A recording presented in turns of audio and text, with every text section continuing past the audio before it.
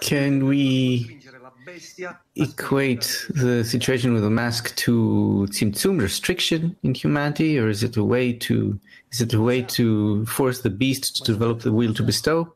Masecha, mask like masach, screen, that I don't want to pass anything bad from me to others, but only good things. If I don't want to pass bad things to others, it is, let's say that it's similar to bestowing in order to bestow. And if I even want above it to do good to them, then it is like uh, receiving in order to bestow. Well, we, we will learn these things. It's as if similar to Masach, to the screen. Latin 7. Muchas gracias, Rab. Buenos días. Eh, escuché de usted responderle. Thank you. Uh, good morning. Que la naturaleza no I heard from you. Well, you told Dudi that nature will not wait for us to explain to humanity, but in order to uplift the, the spirits of the friends a little, is it true that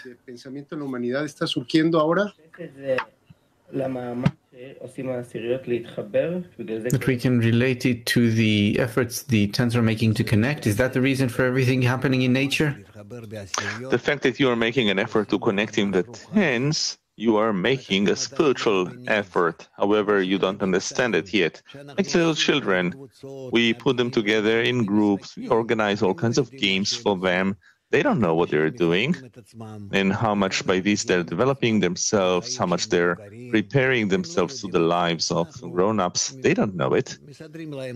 We arrange for them such exercises, and it is the same that now in our efforts, in our connection between us, and in between the tens also, it is all already spiritual movements inside the spiritual force is already working, especially in terms of how much we don't want it. We don't want to connect and how much we feel rejection, each one of us.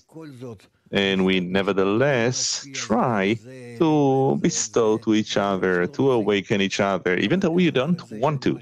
But this way, by me bestowing to others, influencing others, I'm also influencing myself through the others.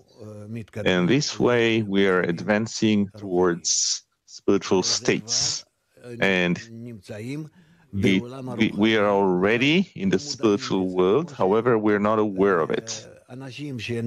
Like people who are born, what does it see? What does it know? You know, it doesn't even hear when a person is born. You saw what's what's born, just a piece of flesh and, and nothing beyond that. Maybe it can cry, uh, cry out a little bit. Doesn't know where it is and what's happening to it. It's disconnected.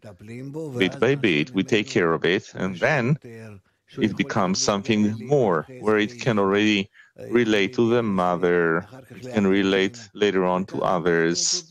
And this is how we grow in spirituality. These are stages, it's exactly matching in spirituality we will reach, let's say, part 12, 11, 12 of uh, TES, even part 10. And there we will see, let's say, Ibur, conception of the soul, katnut, smallness or infancy of the small, then the greatness or adulthood of the soul. There we will learn these stages. This is how we grow. It's exactly matching what we have in this world, in our bodies.